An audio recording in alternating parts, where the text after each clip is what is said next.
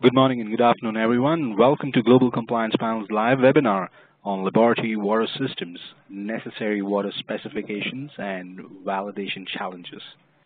My name is Johnson, and I'm going to be your host for today's session. On behalf of the Global Compliance Panel team, I'd like to thank you for being a part of today's event. Today's webinar will be presented by Dr. Teri C. Soli. Dr. Soli is a PhD microbiologist and president of Soli Pharma Solutions, Inc., and is a consultant serving consumer products and FDA-regulated industries with training and contamination troubleshooting expertise covering water systems, sterile and non-sterile products and processes, and microbiological laboratory operations. Prior to full-time consulting starting in 2004, he had 25 years of pharmaceutical operating company experience. He has lectured extensively at conferences and webinars, authored numerous papers, and written several books, chapters related to water system microbiology and biofilm control for USP, PDA, and ISPE publications.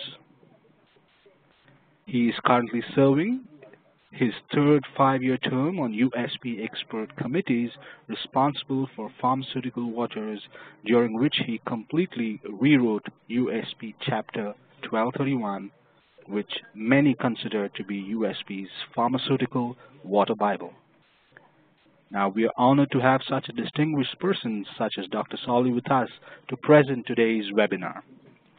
Before we begin, I would like to inform you of the program outlined for today's training session. This webinar is for 90 minutes duration. First, Dr. Soli will take you through today's webinar highlighting the areas that would be covered and he would then share with you his presentation.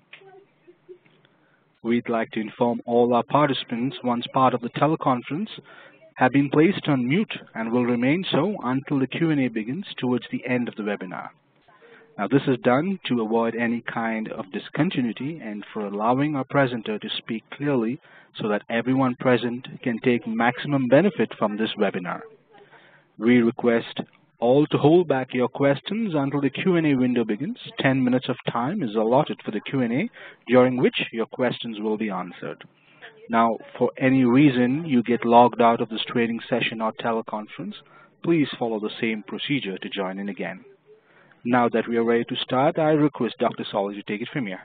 Dr. Soli? Thank you, Johnson. Uh, it's a pleasure to be here today, and, and either good morning or good afternoon, depending on what time zone you're sitting in right now.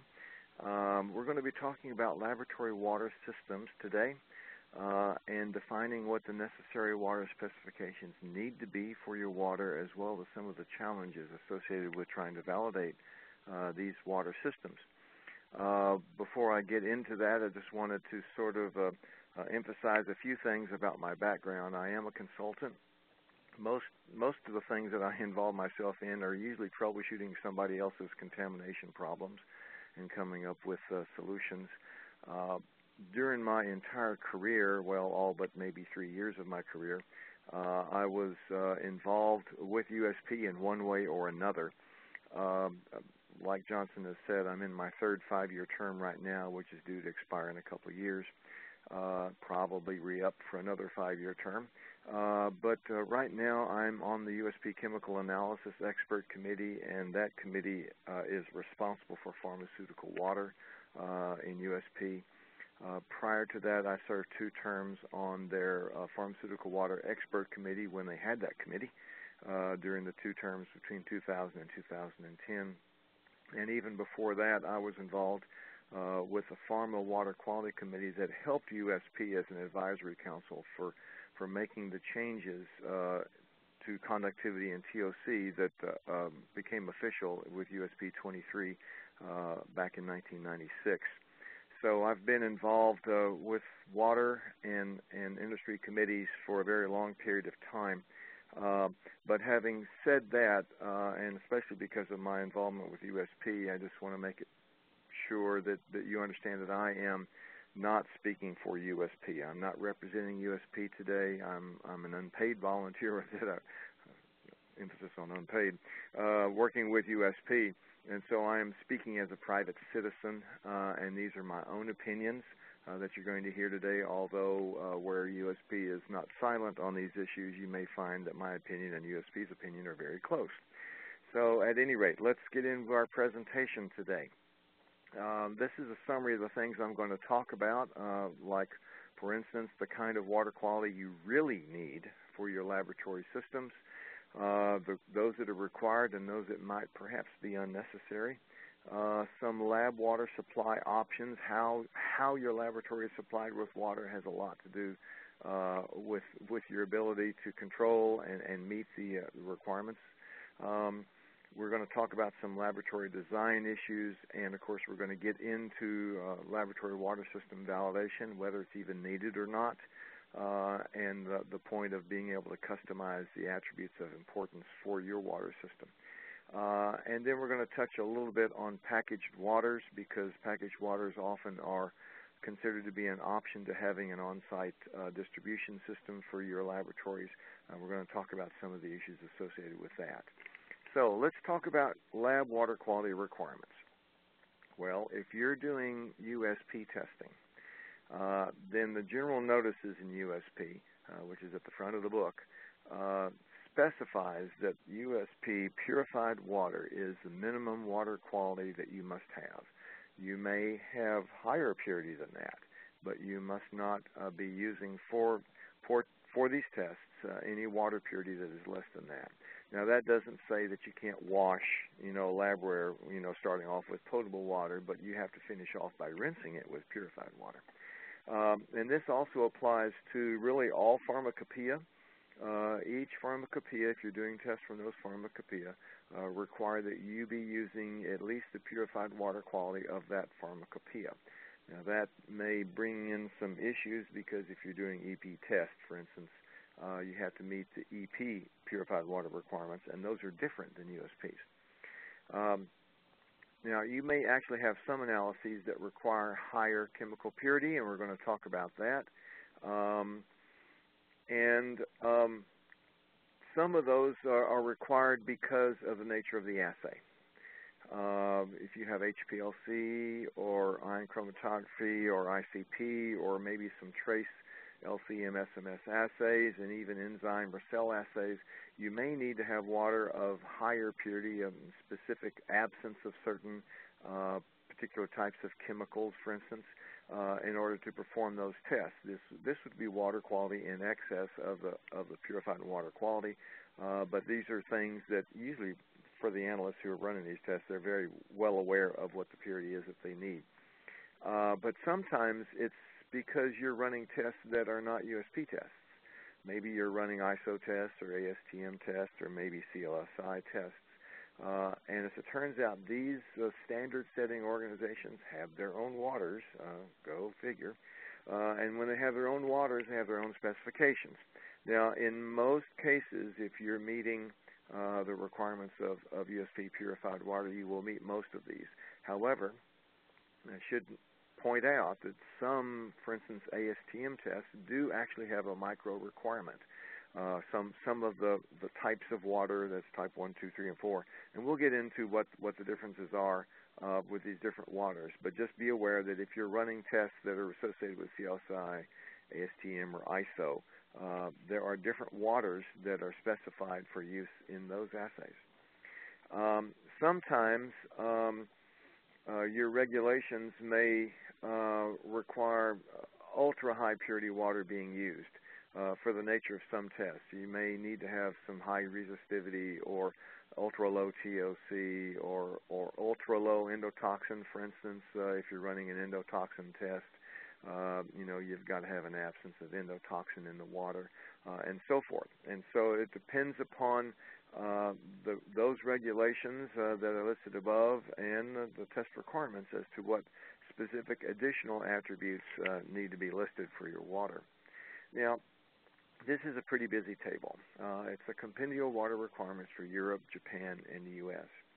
Um, and most of these uh, issues are very well known to the users, but there is uh, uh, uh an addition that have, has occurred. The Japanese Pharmacopoeia 16 uh, just last year, finally officially adopted conductivity in TOC for their monographs.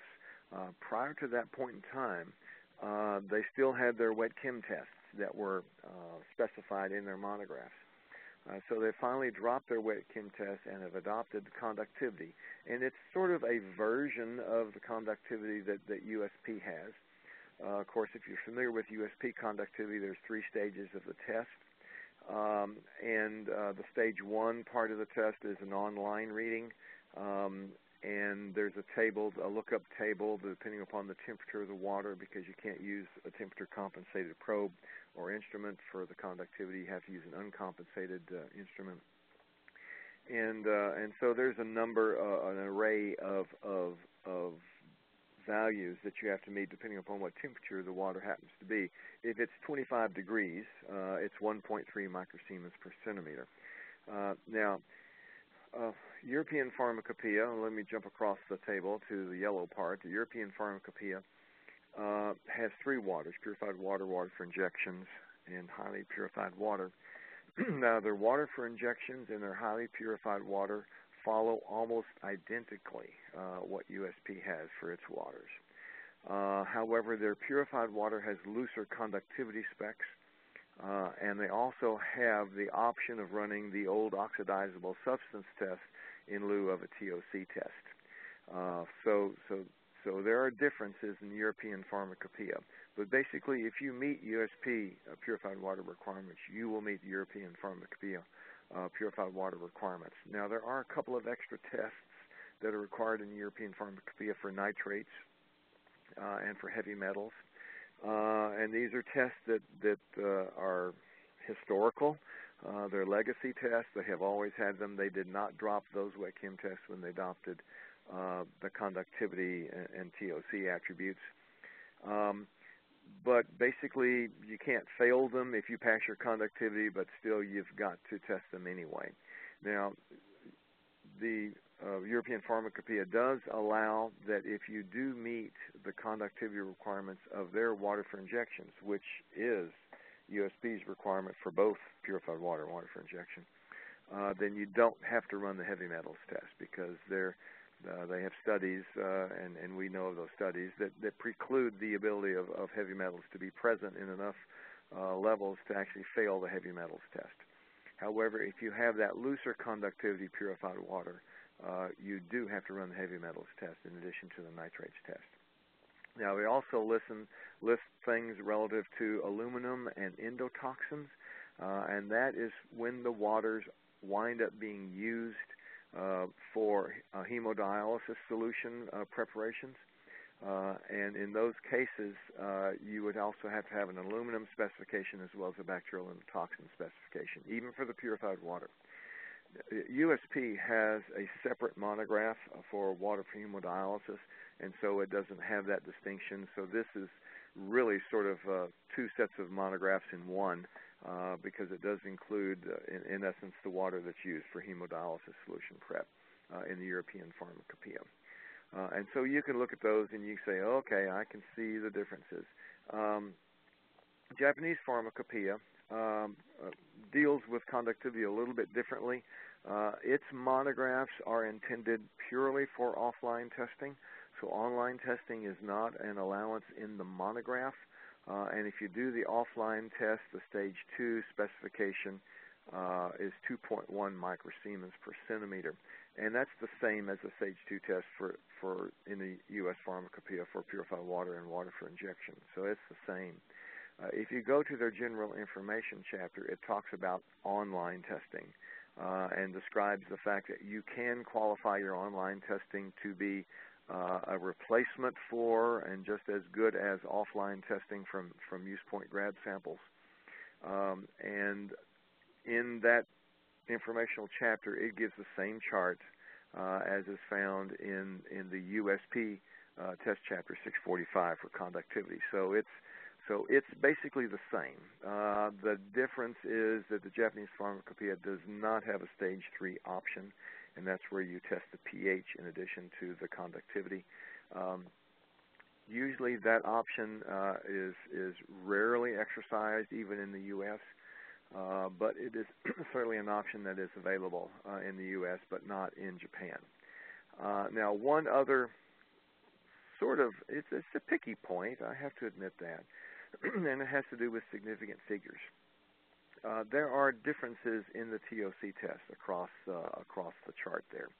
Uh, in USP, uh, a lot of people perceive the specification as being 500 parts per billion uh, for TOC. Uh, in actuality, it's not. what it is is the instrument's response to a 0.50 milligram per liter standard of a sucrose solution.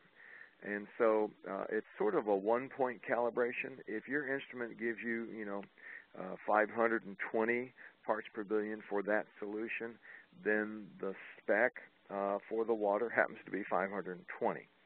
Um, but there's a significant figure issue. And notice that in the um, limit for TOC, uh, you see in the Japanese pharmacopoeia 0.50, uh, and in USP you see 0.50. But if you look over in European pharmacopoeia, it says 0.5. Now, that that creates a significant figure issue. Uh, and so, in actuality, uh, in the European pharmacopoeia, you could have uh, as high as 549 ppb uh, and still pass because of the significant figure rounding issues. Uh, but in, in USP and JP, uh, you could have only as high as 504, 504 parts per billion and still pass the test. So you so you could basically pass uh, EP and fail uh, fail USP or JP uh, when it comes to TOC.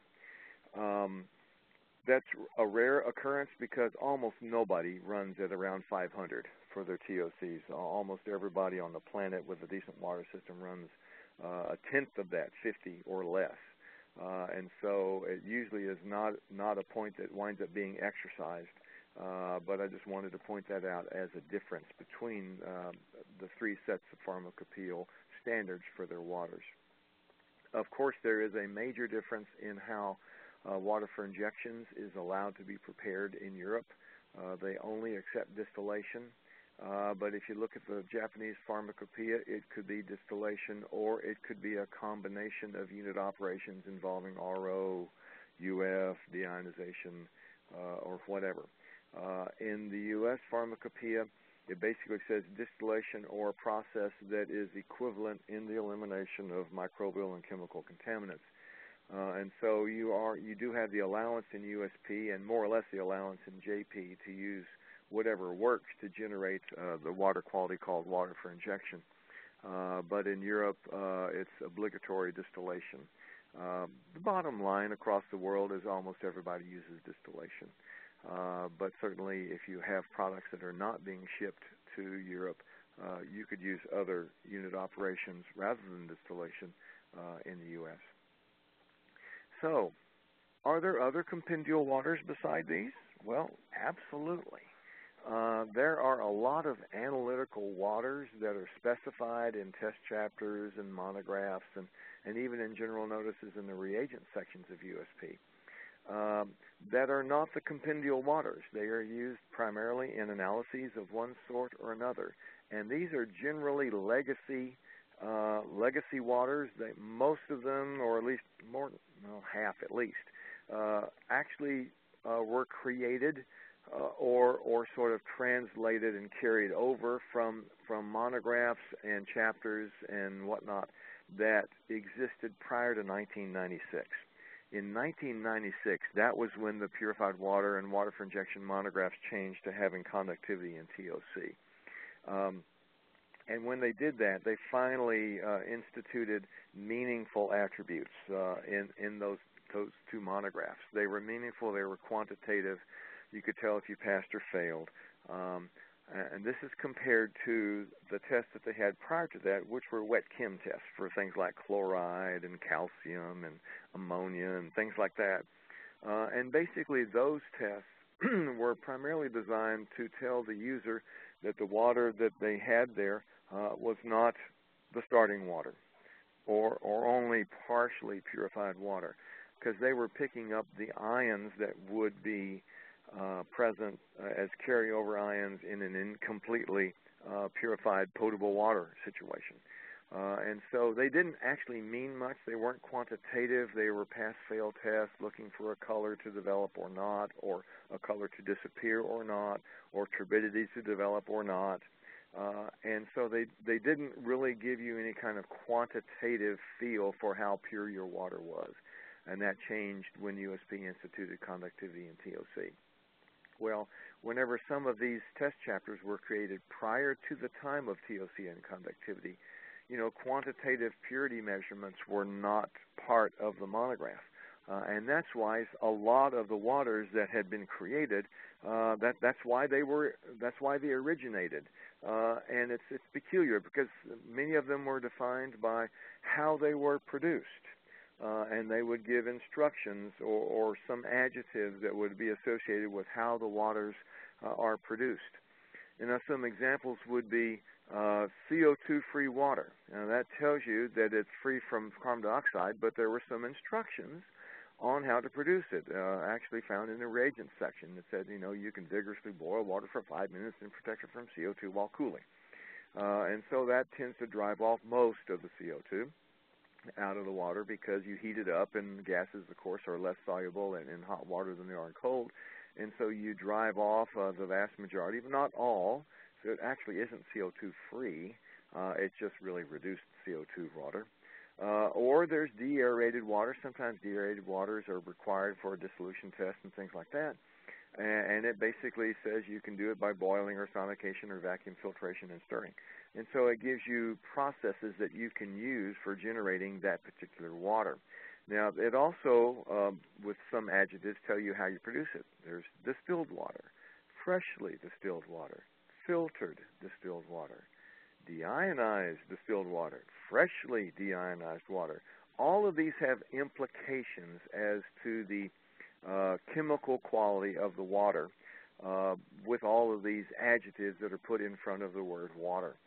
Um, some of these specified non-compendial or non-monographed waters, they are compendial, uh, have sort of rudimentary attributes that are ascribed to them in other parts of USP. For instance, high purity water, and it's important that it's high hyphen purity water because there is actually a high purity water without a hyphen someplace else in USP, believe it or not. Uh, and it's specified as having a, a, a conductivity of 0.15 microsiemens per centimeter, and that, that equates to about 6.66 megohms. Uh, and so uh, you might question why 6.66 and not 18. Uh, well, there's actually a practical reason. Once you grab a water sample and fill a beaker with 18 megohm water and you determine what the what the conductivity is, that conductivity is almost immediately degraded by the presence of CO2 in the air to guess what? About 0.15 microsiemens per centimeter. Uh, and so it's really sort of a, a practical term uh, for high purity water. You, you collect it from an ultra high purity water system, and after you've collected it, it's only high purity. Uh, then there's filtered water, uh, and this describes uh, that it has porosity, filtered with something with porosity of point, depending upon the application, between 1.2 and 0.2 micron filters uh, are specified. And so the implication to that is that there are no particles in there that that are um, higher than those particular specifications. Um, and so there's an implied specification by doing that. And also, one of the ways of preparing CO2-free water, uh, an alternative definition, is water that is not less than 18 megohm centimeters. Now, the reason that that's considered CO2 free is because when CO2 dissolves in water, it, it equilibrates with a bicarbonate ion. And so some of it exists as dissolved gas and some of it exists as, as a bicarbonate ion. So if you pull out the ions, um, what happens is the remaining portion that is gas then will re-equilibrate to a portion of it being an ion. And ultimately, you can scrub the CO2 out of the water by basically generating 18 megohm water, which has no bicarbonate, which means no CO2 dissolved in it. And so it's an alternative way of preparing CO2-free water. Uh, let me make sure this thing works now. Okay. So it also may be defined by the absence of some substance that could interfere with a particular test. Uh, for instance, uh, there is oxygen-free water defined, organic-free water, lead-free water, chloride-free water. As you can sort of imagine, you can look at those uh, uh those descriptions and sort of guess what test it's for. For instance, lead-free might be for a lead test, and chloride-free might be for a chloride test. Uh, oxygen-free is probably for a test that is uh, where oxygen would interact with one or more of the analytes or, or reagents that are used in the test. Uh, and so oxygen-free water is specified. Organic-free water, for instance, is what is specified uh, if you're running the residual solvents test, because you don't want to have organics in your water, uh, then creating peaks or whatever in, in your GC uh, chromatograms when you run that particular test. It also uh, has a few waters that are defined by specific use. For instance, there's water for BET, which is bacterial endotoxin test, and this was formerly called uh, the the LAL reagent water or LRW water, but now it's been renamed to water for BET.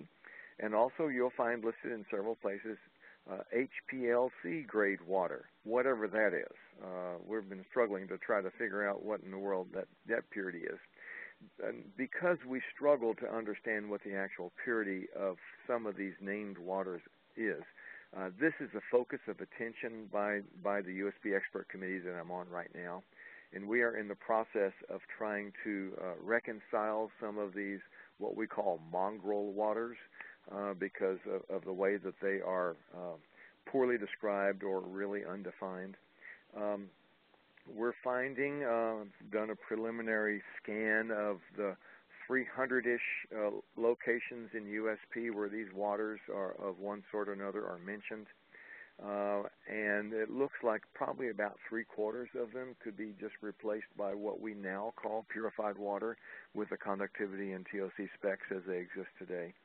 Uh, but it depends upon the analytical application as to whether or not that is appropriate. There's at least a quarter of them, maybe more, that we know that that would not work for uh, because of the absence of some uh, chemical or, or, the presence of some chemical that that is not specified in the purified water monograph.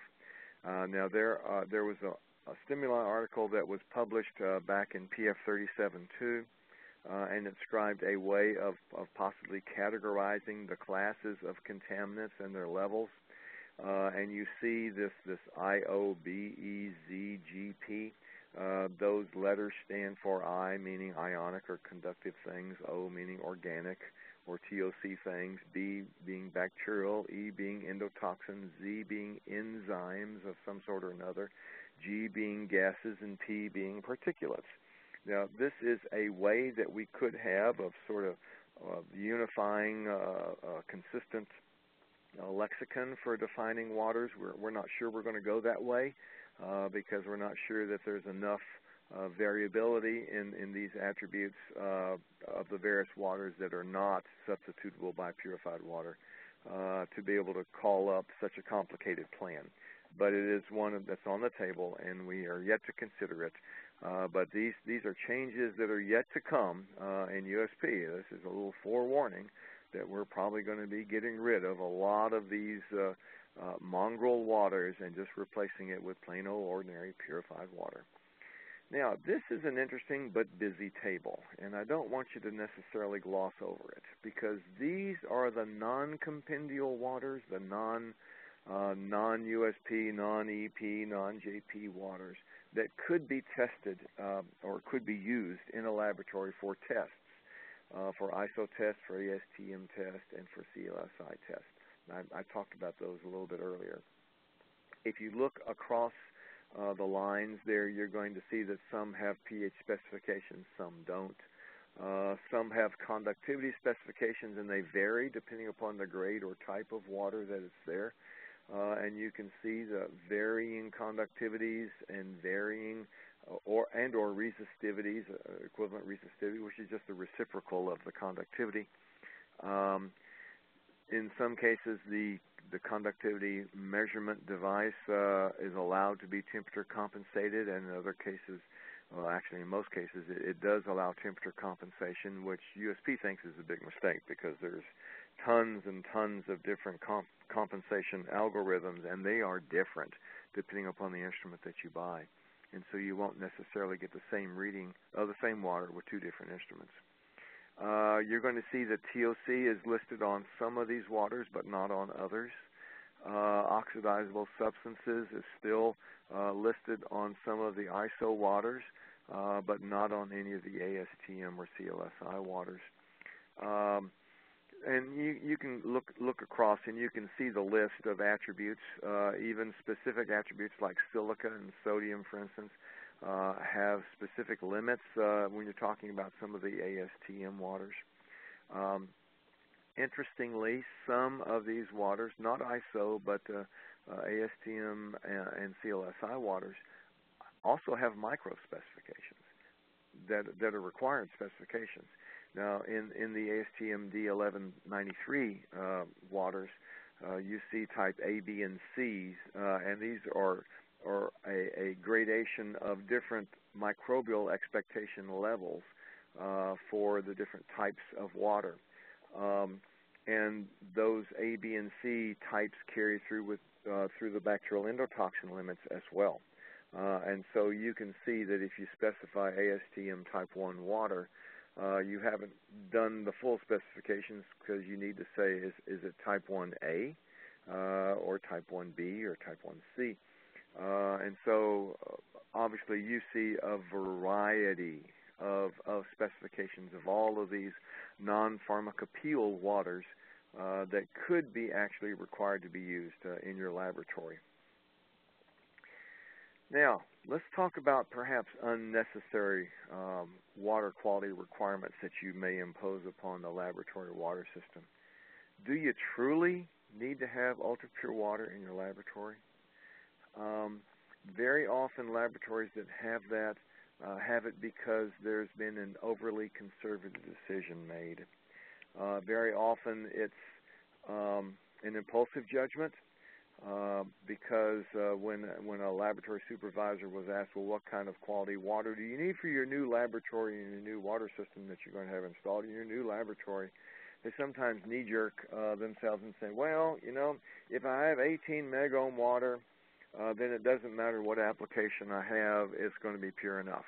And so it's it's sort of a, an, an easy uh, decision to make, but but actually a very costly decision to make. Um, it is very expensive uh, to not only produce but maintain consistently something that you might call um, um, high purity water. Uh, and be, and because of that, hold on, let me shut my phone off there. Uh, because of that, uh, it's um, uh, perhaps an inappropriate thing. Uh, and and, and a thing that makes it really sort of inappropriate is the fact that CO2, which is in the air all around us, uh, degrades uh, the water as soon as it's dispensed from an 18 megohm uh, distribution system or from a laboratory or wall-mounted unit. Uh, and as soon as it hits the air, the CO2 starts changing the resistivity, dropping it dramatically. Uh, and so you may have 18 megohm water within the system, uh, but as soon as you get it out of the system, it's not 18 anymore. Uh, also, with ultra pure water, typically there are T- TOC expectations, uh, usually very, very low TOC expectations. Uh, and when there's very low TOC expectations, those are very, very difficult to achieve in a consistent manner because usually it's a polishing effort that, that manages to get the TOC levels down to single digits uh, and usually is not produced at the single digits. Often it's it's low double digits where it's produced, but if you have a single digit uh, specification, it's very difficult to consistently maintain that quality water. Now the microelectronics business has been doing this for years and years and years, uh, and that's because that's what they need uh, for manufacturing their uh, microelectronic chips and whatnot uh, and they spend lots and lots of money in order to maintain that quality consistently. Um, but I'm just trying to tell you, you know, don't necessarily specify that quality if you if you really don't need to have it. Uh, what about the micro content for your laboratory water? Do you really need to control the micro content? Now, we do know that it is necessary for manufacturing uh, because it is a regulatory expectation, but it is not specified in USP. Uh, do you actually need a microbial specification for your laboratory water? Uh, actually, microbial control in laboratory water systems is sometimes quite difficult. I mean, quite difficult, uh, and for a lot of reasons that we'll describe shortly.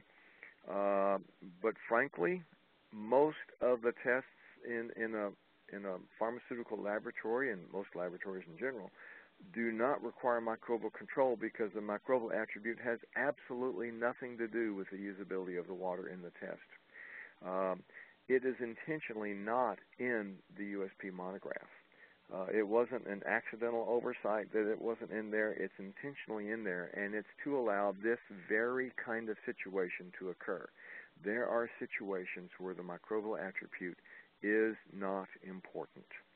Uh, and the laboratory is usually one of those places where it is not important. So why have a specification for micro if you really don't need it, and especially if the system was never really properly designed to maintain the microbial quality to begin with? um, you do have to verify the suitability uh, of an of an of not having a microspec. Uh, and the reason basically is that you're dealing with people who have this paradigm that the microbial specification is required if it's purified water. Uh, and so it's it's an exercise. It's probably a one-time exercise where you evaluate all of the uses of water uh, in a laboratory for every reagent that's used, and you can justify, albeit even on paper, uh, whether or not there's any risk associated with microbial contamination uh, of the levels that you might expect to have in a water system uh, from actually uh, interfering with a test. Remember, these tests all have controls uh, that, that, basically usually already involve the water. So if there is, is some sort of attribute from the microbial contamination in the water, it's going to show up in the control as well uh, and either be subtracted out of the response or at least highlighted as being problematic so that you wouldn't necessarily use the data. So, uh, so keep that in mind uh, when you're doing your assessment to justify not having a microbial spec for your laboratory purified water. However, if that is the case, and you can justify that, and almost every laboratory can, you need to have a separate specification in your company uh, for laboratory purified water because chances are the purified water spec that you have in your company has a micro spec in it. Uh, and so you do not want to have and refer to that specification for your laboratory water because that would then obligate you to having a microbial control program for your purified water system that you don't really need to have. Uh, so a separate written specification that you refer to is an essential element. So let's talk about uh, lab water uh, supply options. You know, how do you get water to a laboratory? Uh, well, sometimes, and I've seen this a few times, it doesn't happen a lot, uh, but I've seen outlets from production's purified water system actually in the laboratory. Uh, and it's by the proper design. They they they very much resemble the the production outlets points of use uh, in the in the nature of the outlet and, and how it's uh, you know how it's plumbed and whatnot. Probably it's associated with a very well designed loop. Uh, the valves are of of the sanitary kind, uh, but there are some concerns that uh, you can bet that that the production has. Uh, and that is that you can misuse the water or misconnect the water uh, for a use uh, in a laboratory, and that could affect the entire production water supply. You can get backflow of contaminants from, uh, for instance, a dishwasher. Uh, you can get good old Alconox, you know, into your purified water system if if you have just the right set of conditions, because very often washers and things like that are are hard piped or hard plumbed uh, into uh, into these pieces of equipment, and, and that hard plumbed connection is always open uh, and so you have, in essence, a dead leg. Uh, also, you can have misuse from overuse of water. Uh, how many times have uh, has has a laboratory water system drained the tank uh, when someone hooked up a pipette washer uh, at the end of the day and went home for the day, and the thing ran all night long uh, and just used lots and lots of gallons of water, uh, more so than perhaps could even be made up for by the generation system. So there are risks associated with having uh, uh, productions purified water systems with lab outlets. Uh, and so if that is the case, uh, these kinds of situations need to be very well controlled so they don't affect production's quality of water.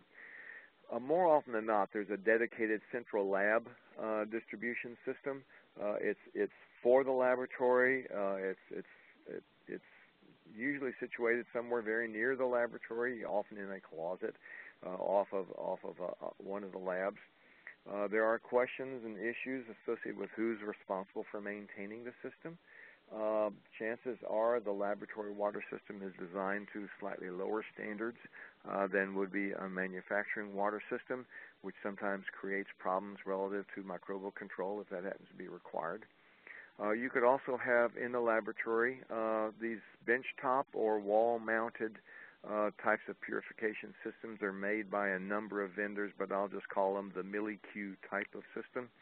Um, and often this is a type of water uh, that is available in laboratories. There are some operational issues with these that, that I'm going to talk about a little bit later, as well as some issues associated with compendial requirements of verifying that they do indeed meet uh, purified water uh, requirements.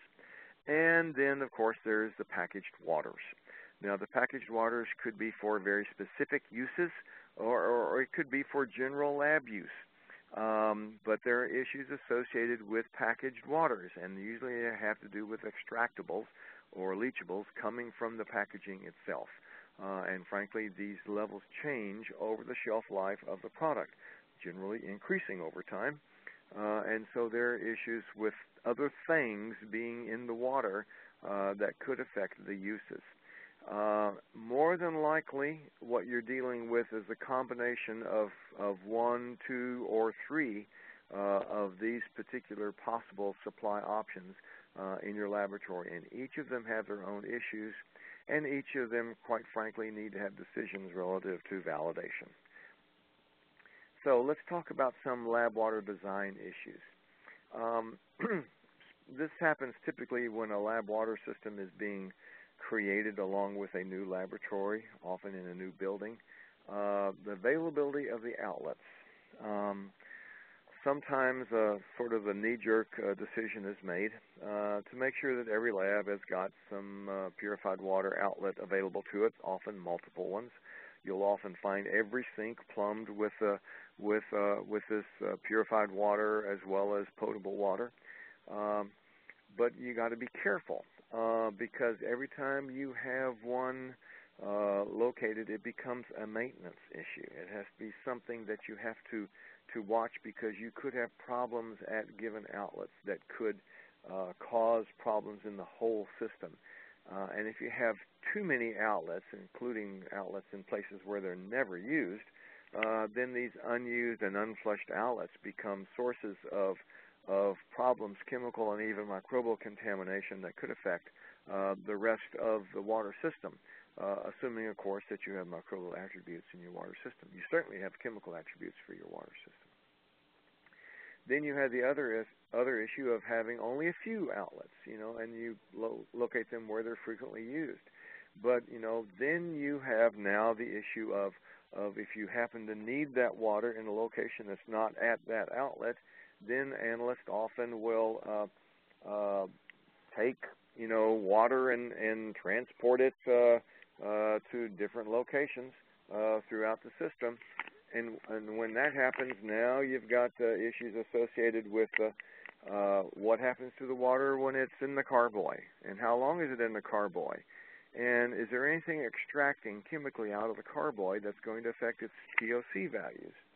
Uh, so you know they become issues uh, that you know is the other side of the coin. You can have too many. You can probably also have too few. Um, so it's something that you need to have a balance of. What about the design of the distribution systems? Um, often the designers of a laboratory water system are different than those that are used for designing manufacturing water systems. Um, very often, if you do happen to need microbial control, there are unsanitary designs, uh, very common uh, in in laboratory water systems. And so, if you happen to need microbial control, well, you're just plain out of luck because a lot of these uh, branched systems, um, uh, uh, dead legs everywhere, you know, a lot of these things are just nightmares to control microbiologically. Uh, so that's one reason why if you don't need to have microbial control and you don't need microspecs, for heaven's sakes, please don't obligate yourself to them because it is very, very difficult with these often uh, poorly designed water systems, uh, poorly designed for microbial control types of water systems. And there's some issues that are described there uh, that are gotchas almost every time. Uh, gooseneck sink outlets, um, uh, hard piped equipment connections which function as dead legs. Um, and often they use cheaper piping unit operations, non-sanitary fittings, all kinds of uh, poor construction approaches that, that make for crevices and all kinds of things. Uh, and so you're, you you've got sort of a nightmare on your hands uh, if you need microbial control uh, in a laboratory system in many cases what are some of the operational issues? I sort of referred to it before, but uh, if you've got a central distributed system for your laboratory, who's in charge of it? Who's supposed to maintain it? Do they have the water system understanding and the expertise to be able to do that, or are they just some poor low-level technician that's assigned uh, that, that to be? That's his job or her job. Um, whose cost center is responsible for maintaining it? I mean, if it's your cost center, it's your baby. Uh, but but you know, make sure there's an understanding, especially if you're constructing a water system with a central or constructing a laboratory with a central water system. Make sure it's clear. It's always best to have the folks who are maintaining the manufacturing water system to be the ones who also maintain the laboratory water system because they know what they're doing, they know what to look for, and very often a, low-level technician doesn't have a clue.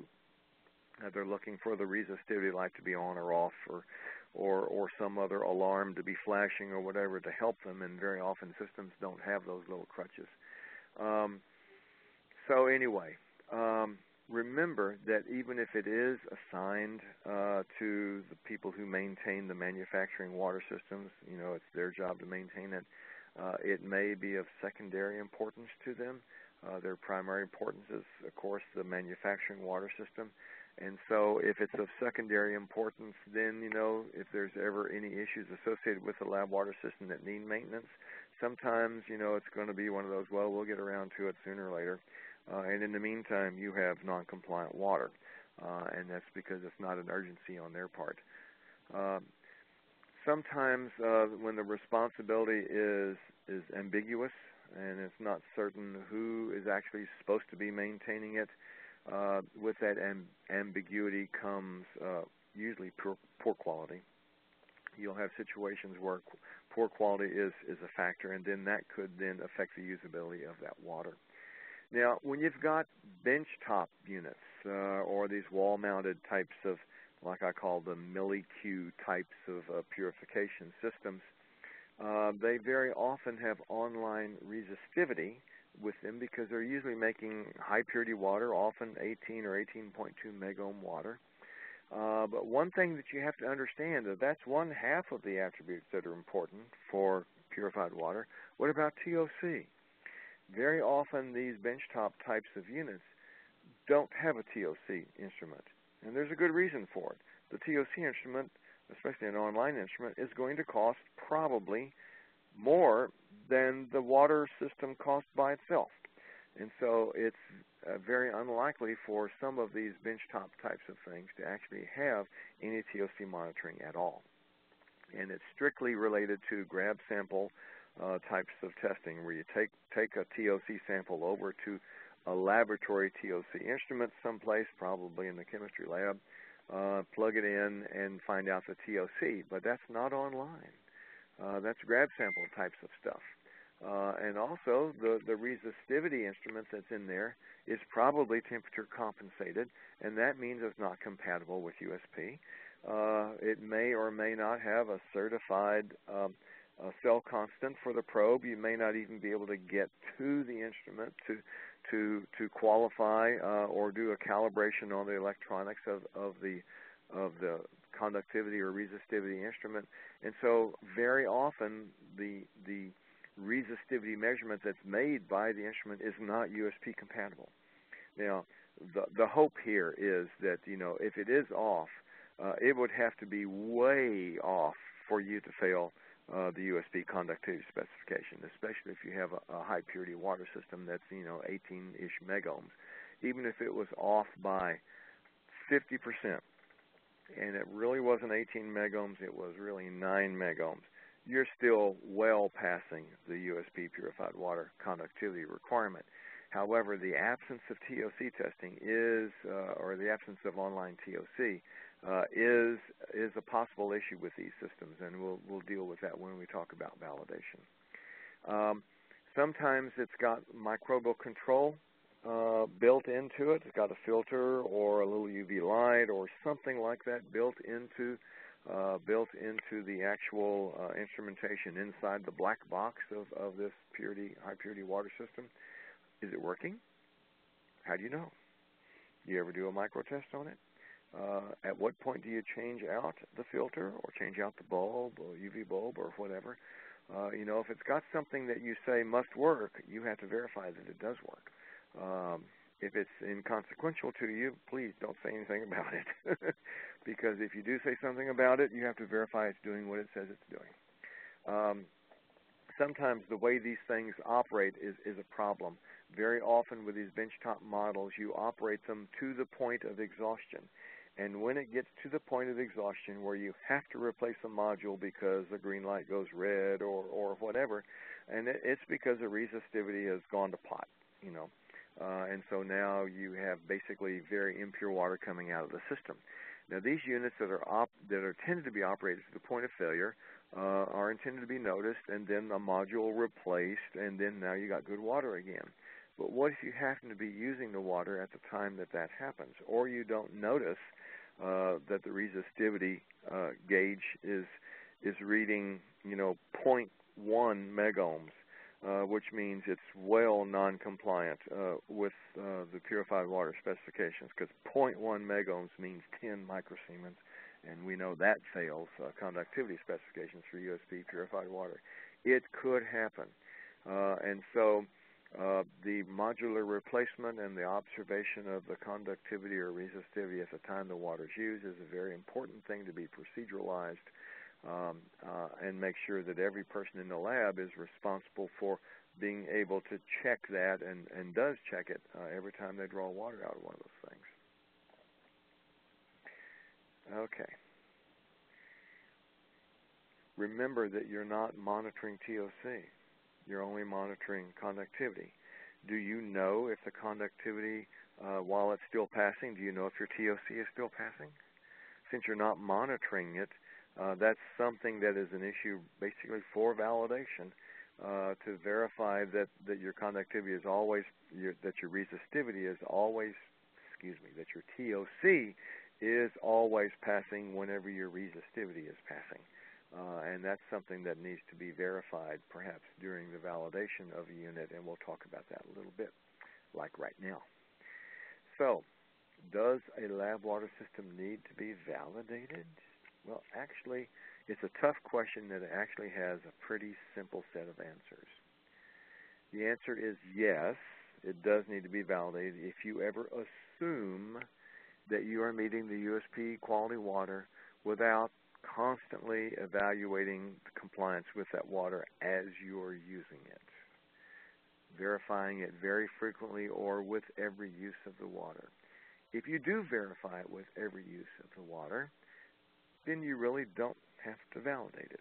But remember, there's that attribute called TOC, which you are probably not verifying with every use of the water because of the cost of the instrumentation. Um, now, if you um, if you do verify it, you know, every time you use it, you don't have to qualify it. If you assume that it is uh, meeting the, the specifications, then you do have to qualify or validate it. Uh, and remember that TOC attribute is, is the wild card there. And so very few of these instruments, the excuse me, these the pieces of, of lab uh, water purification systems, uh, very few of them actually have online TOC.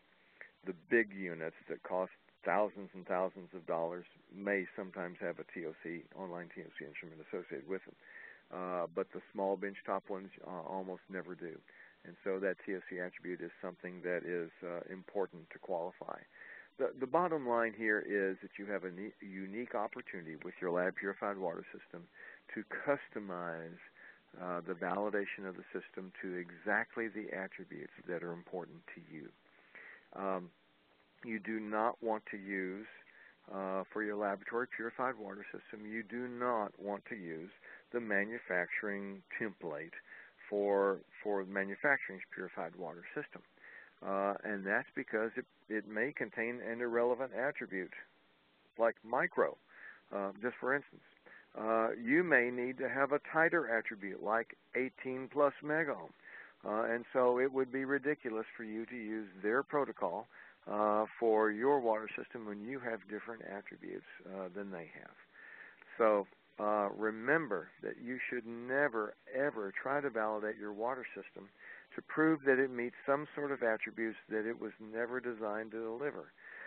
and and this is a source of great frustration. Uh, like for instance, if you have uh, a really poorly designed lab water system and you do have microbial control requirements, uh, that means that you got microbial control that has to be done to a water system that is so poorly designed that it can't be accomplished.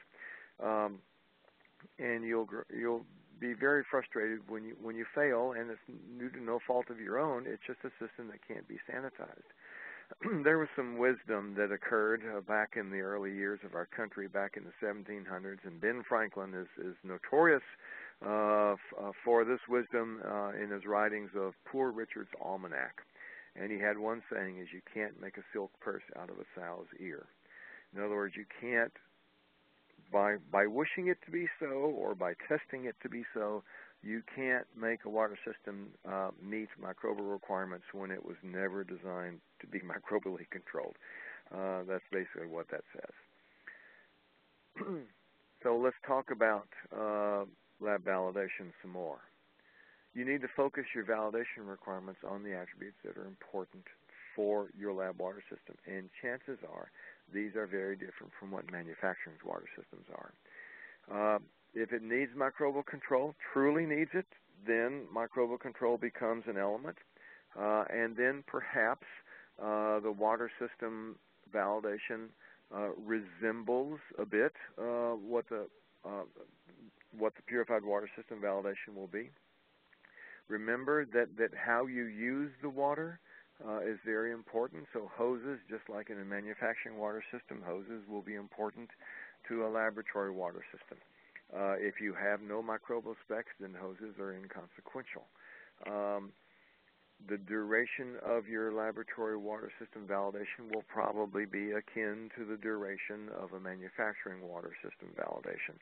Uh, and that's because that length of, of, that validation is usually associated with the microbial attribute because it takes time for biofilm to develop and it takes time for bio, biofilm to get out of control. Uh, you don't see it in a, in a short term, you see it in the long term. And that's why the manufacturer uh, validation programs for their water systems are, are last so long. Um, if you do not need microbial control and you do not have a microbial specification, then that means that you're just worried about the chemical specifications. And if you're worried about chemical specifications, then you you craft your validation around the chemical specs, uh, and the the the lead time associated with chemical changes in a water system when something goes wrong could be a much much shorter period of time and usually you control this with, proactive replacement of units and things like that, uh, proactive replacement of, of uh, DI beds and, and RO membranes and carbon beds and you know all that kind of stuff. Um, and so if you do that, then uh, chances are the validation period uh, for your water system, SONS microbiological requirements, is going to be much shorter. Now, what if you use ultra pure water? If you need ultra pure water, and, and I'm recommending that you try not to lock yourself into that if you don't need to. But if you do truly need it, um, it's probably, you know, your little benchtop things are probably going to be able to deliver 18 megohm water. Well, I shouldn't say that. They'll have 18 megohm water in it, and as soon as it tries to deliver it, it will be compromised by uh, the CO2 in the atmosphere. And so that 18 megohm can only be proven uh, with grab sample testing uh, if uh, if you somehow exclude CO2 from getting into your sample when you draw the sample. Now, it's not that hard to do if you have like a portable um, uh, flow-through cell that you can hook up to the outlet so you're actually independently verifying, perhaps with a USP compliant instrument, uh, that indeed the resistivity is as uh, high and the conductivity is as low as, as, as the onboard instrument says it is, because really you're, you're quite frankly validating the onboard instrumentation. Um, but if CO2 has a chance to see that sample at all, you will never be able to duplicate that inline reading. Uh, and if you can't duplicate the inline reading, then how do you know it's accurate? So it sort of compromises your ability to qualify uh, a system like that uh, relative to conductivity. Uh, and then, of course, there's that TOC thing that we talked about. Uh, but the bottom line here, and I've been talking about bottom lines right and right and left here, uh, is you don't create a specification for a purity that you don't need. Uh, and especially if all you can do to verify the, the resistivity of your 18 megohm system is a grab sample, uh, then you're doomed to failure. Um, and don't forget about that TOC. Remember, you've got to verify that it's still compliant um, at the point that you have a, a point of, of, of maintenance or point of failure of, of the resistivity related attribute you have to still be passing the TOC.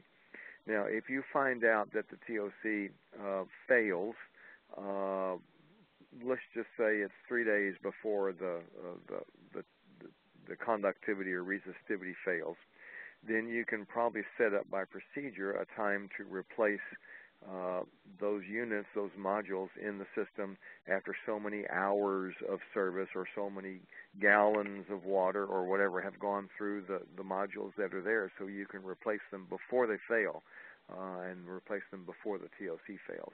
And that'll be something that, that you'll have to struggle with to try to find out at what point that is. But that's something that would be needed uh, for the TOC attribute for these small units, benchtop units. All right, let's talk about packaged waters. Um, packaged waters are an issue. Um, they're often used uh, by by folks really sort of unwittingly uh, because they want to avoid uh, the cost of a water system um, because it might be cost associated with a facility renovation or uh, perhaps the cost associated with designing the water system and then installing it and then of course maintaining it and then monitoring it and then controlling it uh, through perhaps uh, adjusted maintenance programs. And then of course there's the big V word you know validation of that kind of water system. And so these people think well they can avoid those costs if I just use packaged waters well that's an appropriate decision uh, in some cases, but we'll talk about all the things that uh, that most people don't think about when they go that route. Now, the scenarios that might be driving the use of packaged waters could be maybe you just need a limited volume. You don't need much water for your operation. Uh, most of the water that you that you have is is can be provided very adequately uh, by uh, a bag or a box of water, uh, and you don't need that much. Maybe because of the particular water use that you have. Maybe you only need it for a short term, for a short period of time, uh, and then after that you don't need it. And so, in that situation, perhaps the, uh, a packaged water situation might be appropriate. Uh, maybe you need higher purity than plain old ordinary purified water. Maybe you need HPLC grade water or something like that uh, because you have one specific analysis that requires some amount of water to be added to a mobile phase or whatever, and you don't need a whole water system when all you need is is a few hundred cc's uh, of of this high purity water, and so maybe a packaged water situation makes a little sense. It also makes sense sometimes when there's at least a perception that uh, uh, that it's not really that important for the intended use. Maybe you're using the water for cleaning, or maybe you're using it for API manufacturing where you don't really have to have purified water. Uh, you may not have to have microbial control because of noxious solvents or high or low pHs or high temperatures or whatever that are used in the process that would kill any bugs that would have gotten in um, in the water system during that API manufacturing process. So it could conceivably be justified. Um, maybe it's because you have a facility that's leased for a period of time, and maybe like a lot of uh, uh, owners of, of buildings and landlords, they forbid you from uh, from modifying the walls and hanging hanging uh, pictures or whatever, uh, like you sometimes find in, in apartments and things like that, where where you're forbidden to actually renovate the facility because you'd have to renovate the facility to install a water system. And by the way, who's going to put that kind of money into a water system that you're just leasing for a finite period of time? Uh, and then when the lease is up, you're going to leave it behind. You know, chances are the landlord's not going to want to have a water system in there for the next uh, lessee to try to uh, have to deal with if they don't need a water system. Um, maybe your operation is small, uh, speculative, and maybe even potentially transient because perhaps you are an early R&D company and uh, you have a good idea and a, and a certain complex or small molecule that you're trying out for the early clinical trials and you don't know if it's going to work or not, uh, and it's all very speculative, uh, you certainly aren't going to want to kick in lots of bucks into a water system uh, that you're going to abandon uh, shortly when whenever your product fails fails to be effective or whatever, because you don't know if it's going to be effective in those early uh, clinical trial periods. Uh, all I can say is if you go with packaged waters for any of those reasons, be very careful. Um, packaged waters are rarely as pure as the bulk waters. In fact, I'll go out on a limb. I'll say never as pure as the bulk waters uh, can be. Now, you can have impure bulk waters, you know, from delivered from a water system, but you can also have very pure bulk waters. You cannot have very pure packaged waters. They don't exist. Um, and that's because the packaging, the leachables from the packaging, uh, compromise that high purity water that may have been put into the package. Um, now, a lot of people are not aware uh, that in USP 34, and this happened in uh, and was official on May 1st, 2011, the packaged purified water and water for injection specs. Now, this is not the sterile purified water or sterile water for injection, but just the packaged waters. These are described actually within the monograph for purified water and water for injection. You can just package it without any kind of microbial control associated with it. You can just package it. But the chemical specifications for these waters, since they were used in the same application that the bulk waters are used for, have now been made to be identical to the bulk waters. So now the packaged purified water and water for injection specs have the same conductivity and TOC specifications as the bulk water. So it's the same stage 1, 2, 3. Actually, for packaged water, it would only be stage 2 and 3 because you wouldn't have an online version of a packaged water. Um, but the TOC specification is the same, and that's the that's the catch because very often the package has extractables that could cause that TOC spec to fail. Uh, and if it's a glass package, it could cause the conductivity spec to fail as well because of extractables coming, sodium and silicates and stuff coming out of out of the glass uh, in in the packaging. Um, so, not all packaged water vendors are even aware of this change. And so, if you are buying packaged waters today and we're talking like the the plastic bag inside a cardboard box with a little spigot at the end, you know, those kinds of things. Those have to comply with the same specifications as the bulk waters, and they may not. So you probably need to verify to make sure they do and make sure that the vendor that is providing this bulk packaged waters for laboratory use, which is a very common approach, uh, make sure that they do meet the conductivity and TOC specifications of the bulk water that are in the purified water spec. Now, sterile waters, people think uh, that sterile water for injection or sterile purified water is going to be just that much better uh, because it's sterile. And as it turns out, the type of packaging that these things are put into and then sterilized in usually create very high TOCs.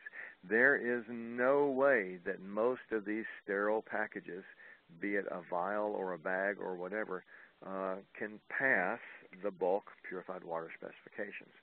Uh, and remember, that's what you have to pass uh, when you're using them in a laboratory. So be careful about using bagged waters, uh, thinking that they are even purer than the other waters. They more than likely are not, especially in the TOC. Uh, it's the packaging that is causing the leachables that is reducing the quality of the water. Now, if it's plastic packaging, it's usually TOC that's leaching. If it's a glass packaging, it's usually the, the sodium and the silicate ions and other caustic ions that may be, be released from the glass itself that's causing the problem. So these leachables could have anywhere from no impact at all to a dramatic impact uh, on whatever you're using that water for. And right now, unless you try it out, you don't know whether it's going to have that kind of impact or not. And so that means if you happen to be using packaged waters to avoid this initial or ongoing water system cost, uh, that means you need to verify that the quality of each batch, not just the vendor's item number, but each batch, because it can be variable from batch to batch, uh, meets the bulk purified water specifications. Now, if you get a C of A that just says pass or meets uh, meets specification or meets USP specifications, you need to dig down, drill down, and find out what exactly they think means a pass because they may mean pass, meaning that the water I put into that bag or into that box met the specifications. They may not be talking about the water being delivered by the box. Um, so you you need to drill down and you need to find out what that C of A says uh, and what it means when it says that it passes. Uh, ideally, you should have a C of A that actually has some sort of numbers associated with it uh, rather than just pass or, or, or whatnot, because pass doesn't mean much, especially when when the criteria are vaguely defined uh, as what's passing. Uh, that means that for every application that you use that packaged water for, you need to assess the impact of the leachables that are in that water. And for consistency purposes, you know, since every batch of that water could be different. Remember, these are attributes that they're probably not controlling. They're probably not controlling uh, the variability in the packaging uh, that could have higher or lower extractables from one batch of packaging uh, plastic to another. Uh, that means that every single batch probably also needs to be assessed. What this does with all this assessment of, of suitability is it adds cost um, so all this leachable impact evaluation that you're using uh, could actually neutralize whatever cost you're avoiding uh, by not having a, a, an onboard uh, system that actually generates the water. Uh, and so don't think that you're getting off light necessarily uh, by having packaged waters because you now have the obligation to prove that your packaging waters, your packaged waters, are not causing you problems. So uh, so there's a lot of hidden costs uh, associated with using packaged waters. So basically be very, very careful that you do assess the true cost of using packaged waters rather than having a bulk purified water system or a benchtop type of system before you go down that route because uh, there are going to be costs in there that you probably didn't consider. All right, I have gotten to the end of this uh, and I am ready to take questions if anybody has any. Thank you so much, uh, Dr. Soli, for the wonderful presentation. Also, would like to thank all our participants for cooperating with us. Uh, it's time now for the Q&A to begin. Uh, all participants uh, who have questions can go ahead and click on the raise hand option, which is a small palm-like icon at the bottom of the participants panel. And I can unmute your lines and uh, you can ask your questions verbally, or you can go ahead and post your questions on the Q&A panel. Uh, if you are finding it difficult to use these two methods, you can go ahead and post your questions on my chat panel, your host, and I shall pass it on to our presenter to have it uh, answered. Now, in the meanwhile, uh, I do request all our participants to go ahead and share your feedback with us. The feedback form has about eight questions, mostly multiple choice in nature. It wouldn't take more than two minutes of your time to answer. The feedback form will appear on your polling panel right now.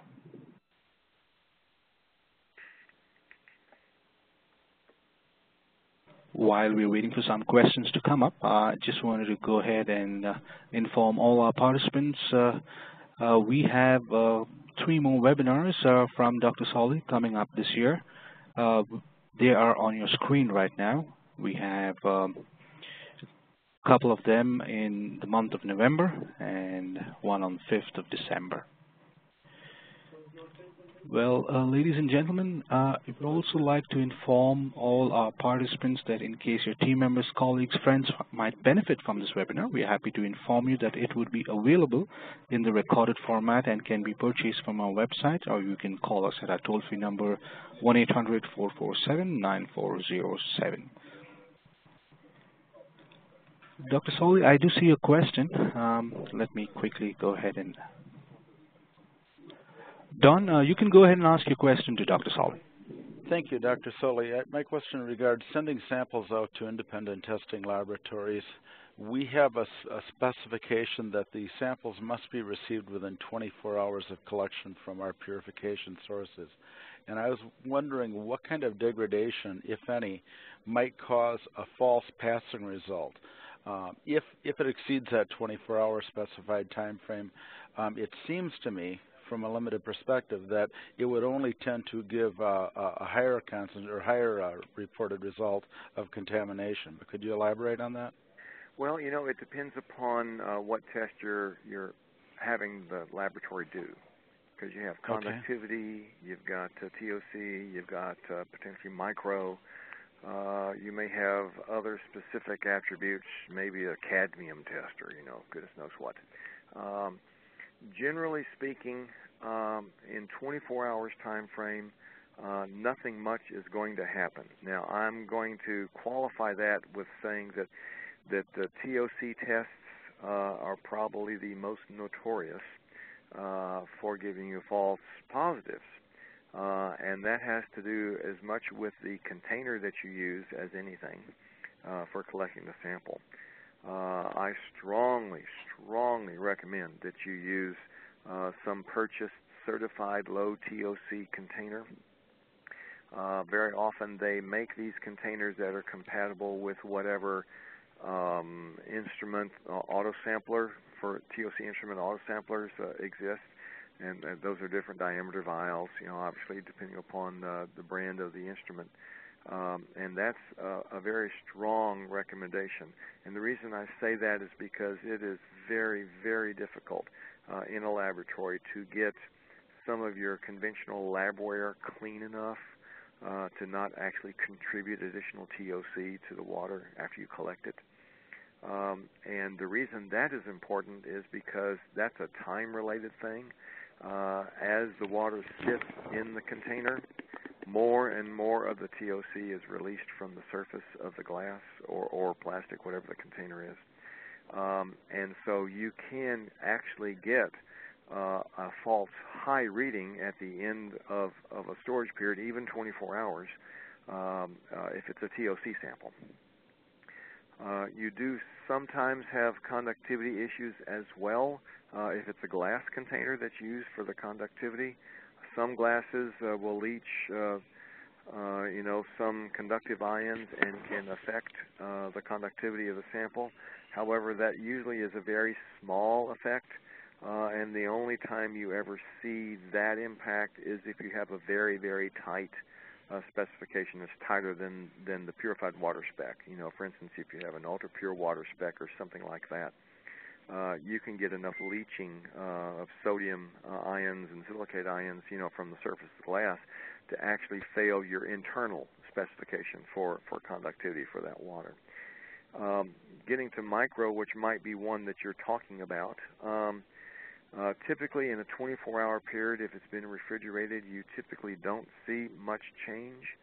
Uh, but if it ever is longer than that, you can actually see a, a fall, a drop in the counts as the organisms um, adsorb to the surface of the glass vial. Mm-hmm. Um, usually the larger the sample size, which actually reduces the surface area to volume ratio, uh, the less likely you're going to see that. But the smaller the sample size, the smaller the container, the more likely you are to see that. So, uh, uh, so it's uh, it is a phenomenon that could cause something to look better than it really was, you know, at the time you collected the sample. So you sure. could get a quote false negative uh, in that situation. Frankly, in a 24-hour period, especially if you refrigerate the samples uh, very shortly after collecting them and keep them refrigerated, not frozen, but refrigerated uh, on the way to the laboratory, there's not going to be much change um, uh, in the micro count. Um, and so you're going to see pretty pretty close to, to what you actually had uh, in your original water sample. Now, endotoxin, I don't know if that's one of the ones that you send out as well. It is. It's, an, it's endotoxin uh, straddles the fence of, of uniformly distributed and, and non-uniformly distributed because obviously it comes from bacterial cells. Um, uh, it can be coming uh, into your water distribution system from upstream, and so in that case, it's usually soluble, uh, and so it behaves an awful lot like like a chemical, and that means it's uniformly distributed throughout the water system. Um, but if it's uh, being generated by local biofilms uh, at the time that you collect the sample, uh, or if you have a, a microbial count in there, you can have localized biofilms uh, that create localized endotoxin. Uh, now, typically, in my experience, you only see this impact because usually, if you, the the amount of organisms it takes to to fail uh, the endotoxin test is an astronomically high number of organisms. You know, so so the only time you ever see the impact of local endotoxin is when you have a very very tight spec if you have a spec that's like less than 0.03 or something like that, a very, very tight spec, not the 0.25 spec, but the very tight one. Uh, and the 0.03 is like the limit of a gel clot test. Um, you might actually might be able to see enough endotoxin from a local microbial count to be able to see a 0.03 response. And so you could get from endotoxin, uh, local endotoxin, an impact uh, from local bio, uh, biofilm organisms. Now, how would this change over time? Well, if it's coming from local organisms, like organisms that are in the sample that you actually collected, uh, if the organisms leave the water stream, leave the bulk water phase to go to the surface of the container, so will your endotoxin go away. So it'll follow along with it.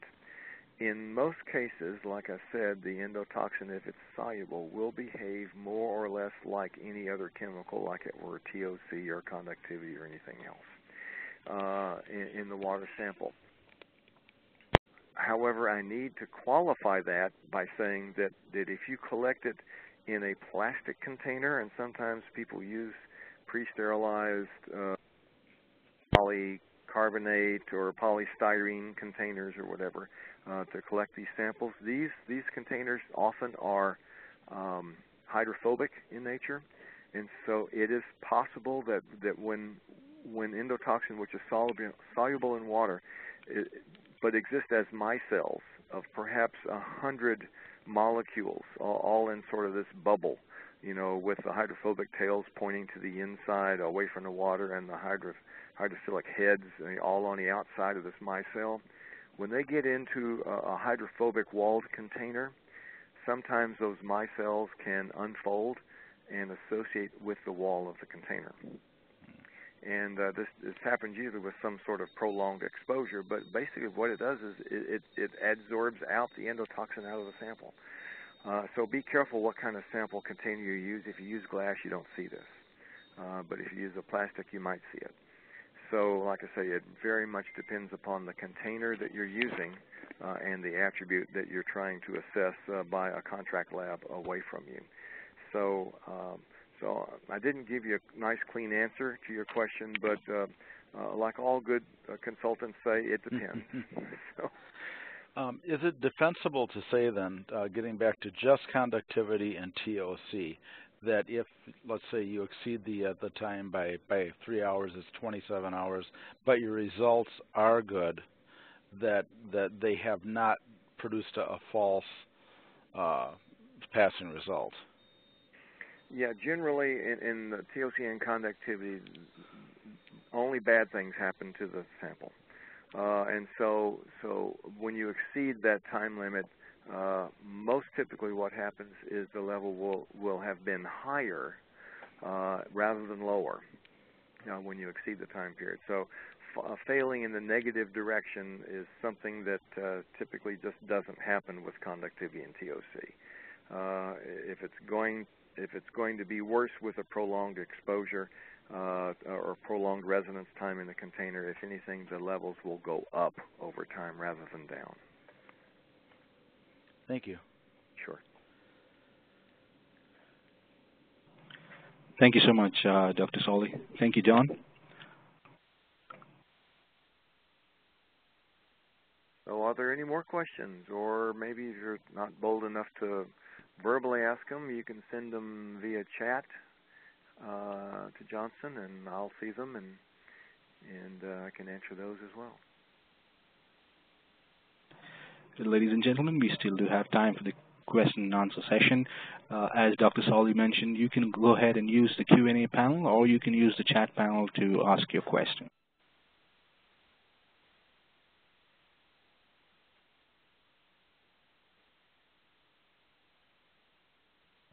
Okay, uh, while we're waiting for some more questions, just wanted to go ahead and take our um, participants to another slide. Uh, this is uh, a slide where Dr. Soli is conducting two-day in-person seminars. Um, we have two locations, uh, one in Washington, D.C. on the 12th and 13th of February, and the other location is uh, in the uh, in San Diego on 1st and 2nd of May. Please feel free to log into our website, which is www.globalcompliancepanel.com, to go ahead and make your registrations. I can tell you guys, if you want to participate in that, you're going to learn uh, just about everything you'll you'll need to know uh, about water. That's why it's called the A to. Uh, anything to do with microbial control and validation and whatnot uh, of a water system will be covered in that course, including investigations and everything. So uh, I think the details are available on that on that website, and you can look at the at the curriculum and, and see if uh, it's going to be of interest to you. I'd love to see you there. Uh, and I'd love for you to come up to me and say, "Hey, I listened to you on the such and such webinar, and I'm here because I want the full load." Uh, so you'll get the full load uh, during those two days.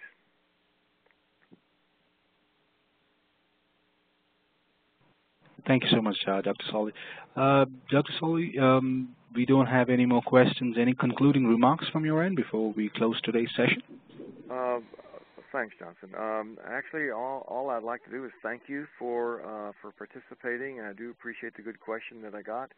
Um, if you do have any questions, you can feel free to contact me through the uh, Global Compliance Panel website, uh, and I'm perfectly willing to answer short questions uh, not litany questions like what do I need to know about validation. Uh, wouldn't answer those, but uh, but you know if you have specific issues uh, that you're wondering about, uh, feel free to to send me a question via Global Compliance Panel. Uh, I do appreciate your time today, and uh, uh, I know that you're busy people, uh, but I appreciate you taking time out of your busy lives and, and listening to me, and I hope that this was of some value to you. And maybe next time uh, you'll be able to participate in another webinar. Thank you so much, uh, Dr. Soli. Ladies and gentlemen, we are grateful to all of you for having taken part in today's session. If you'd like to get in touch with us, you can send us an email to webinars at globalcompliancepanel.com.